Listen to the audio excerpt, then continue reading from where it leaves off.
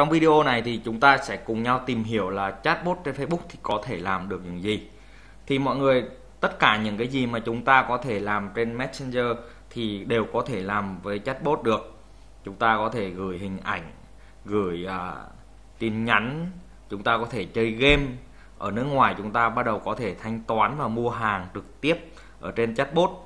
Ở đây thì chatbot có rất là ứng dụng rất là nhiều và nó cực kỳ là tiềm năng chúng ta có thể làm tất cả những cái gì chúng ta làm trên web thì chúng ta có thể làm với con chatbot này được. Như thanh toán thẻ cào hay là kiểm tra mã vận đơn.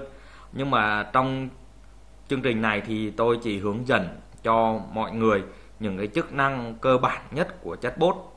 Thì đầu tiên mà cái chức năng mà tôi muốn giới thiệu đến mọi người đó là khả năng huấn luyện chatbot thành một nhân viên trả lời tự động.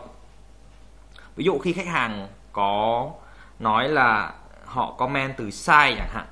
Hai giày bao nhiêu hay là áo có size này không chẳng hạn.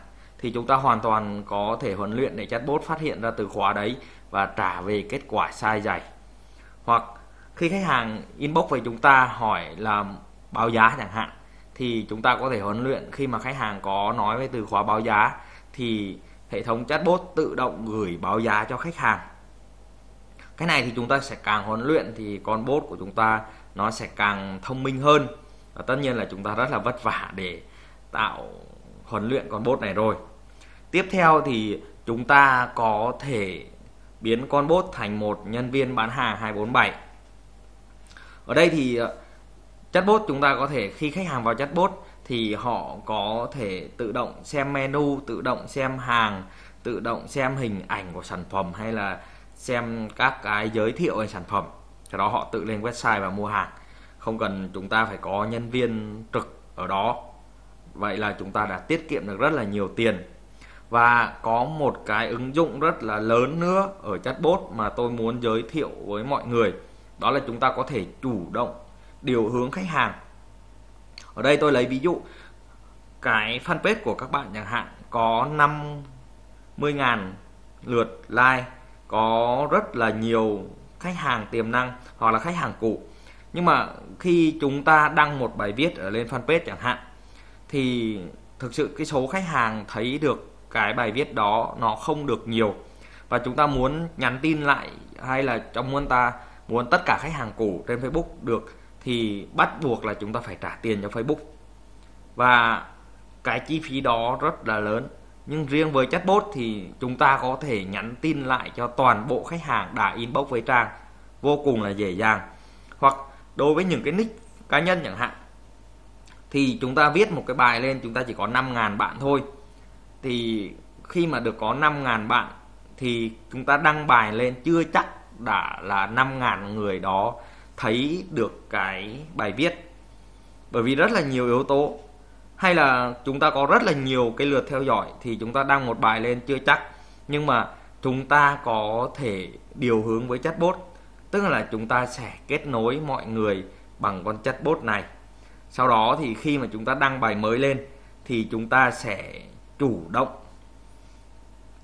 gửi cái thông tin cho những người theo dõi chúng ta thông qua hệ thống Facebook Messenger ở đây thì tôi sẽ cho mọi người xem một ví dụ nhé và cái tỷ lệ trả lời cực kỳ là cao.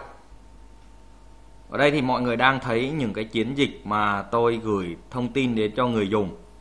Ờ mọi người thấy để ý là cái tỷ lệ đọc rất là cao. Lần gửi đầu tiên của tôi thì là tôi có 531 người dùng. Và cái tỷ lệ của tôi là 93% trước đây tôi không chèn link nên là hệ thống nó không đo được click thì ở đây thì chúng ta sẽ thấy là có 494 người đọc. Thì mọi người thấy đây là chiến dịch gần đây nhất mà tôi gửi chẳng hạn. Đó là 71% nhưng mà 71% ở đây là 71% của 2.810 người. 801 xin lỗi mọi người. Và tôi được là 71% người đọc và trong đó có 13 người 13% ở đây là 351 người click vào cái bài viết của tôi nếu như mà không có hệ thống chatbot này thì chắc chắn thì tôi sẽ không có 351 người thấy được cái bài viết này của tôi. Và chúng ta hoàn toàn không mất tiền để nhắn tin cho 2.801 người, hay là chúng ta có 10.000 người chúng ta cũng không mất tiền để chúng ta nhắn cho toàn bộ khách hàng.